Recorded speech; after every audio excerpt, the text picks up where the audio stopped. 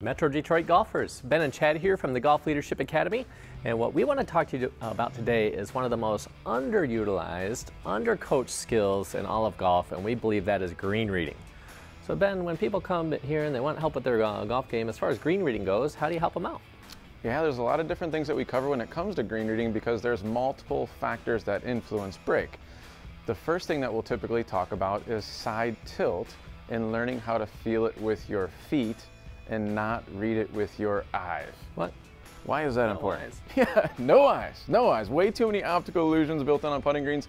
Golf course architects are not very nice. They actually want you to miss putts. Yeah, so the golf course architects are really, you know, trying to play tricks on you and they're not really helping you out, yeah? That is true. All right, so what we're talking about is using our feet, and we, we use aim point to do that. A lot of you maybe see uh, the players on TV, they're going up and they're standing on their line and they start to do this. So Ben, talk to us about side tilt and how the folks at home can go about starting to experience what you're talking about. Yeah, one of the things that you can start doing immediately, you don't need to use the whole system in order to become a better green reader.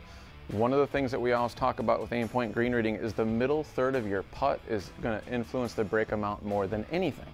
The so middle third. The middle third, yep. So when so you're actually chunk it up. Yeah, so when you're reading a putt, a wise thing to do would be walk, uh, to walk a third of the way into the putt and then two thirds of the way into the putt and start to just feel whether or not you're tilted leftward or rightward. So you don't need your eyes to do that. You're just letting gravity pull you one direction or the other.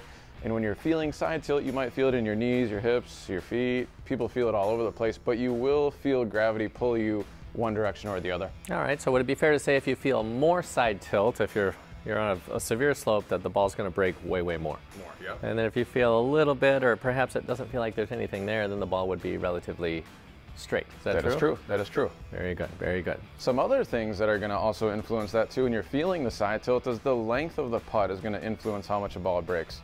The longer the putt, the more it breaks. The shorter the putt, the less it breaks. Chad, what might be a, a couple of other things that'll uh, influence break amount? Yeah, so, so step one is how much side tilt do we feel. Yep. Then step two would be considering the length of the putt. Uh, the next thing that influences the speed. So if, if, let's say we go to Oakland Hills or somewhere with very, very fast greens, faster greens will break more than slower greens. So the speed of the green will influence how much or how little the ball breaks. That is true. Why is that true? What, what's up with that? It's uh, kind of an interesting thing when you think about it. Uh, the reason that the ball breaks more on faster greens versus slower greens is due to the amount of time it's rolling. On faster greens, the ball is actually rolling slower than on slower greens because if you think about it, you're not hitting the ball nearly as hard. So if you're playing at Oakland Hills, you're just tapping that golf ball and then it's rolling very, very slowly and it takes a long time to get to the hole. So therefore it has more time to take break. It's the same thing with uphill and downhill. On a downhill putt, it actually takes a longer time to get to the hole than the uphill putt. So therefore it's gonna break a little bit more. So downhill putts break more than uphill putts. You got it. Very good. So we have the size of the, or the, the, the length of the putt, if you will, yep. Uh, the speed of the greens, and then uphill, downhill. You got it. Is there anything else that you can consider? Uh, you could consider grain. We don't really get that much grain in the state of Michigan, so you don't really need to worry about it here.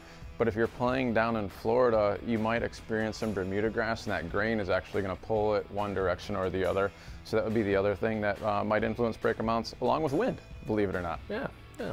So this Tuesday, what we encourage you to do is start using your feet to feel how much or how little side tilt is present, and that'll give you a very, very good idea of how much or how little that ball's going to curve. On top of that, consider the other variables of the speed or the, the, the length of the putt to, to, add more or little break or less break, yeah? Yeah, you got it. And then for those of you who are interested in learning the entire aim point system, we actually have a unique opportunity coming up on Saturday, August 12th at Riverview Highlands. So uh, we have two clinics that are going to be available. One goes from 8 to 9.30. The other one is 10 to 11.30. So if there's anybody out there that's interested in attending the clinic, we'd love to have you.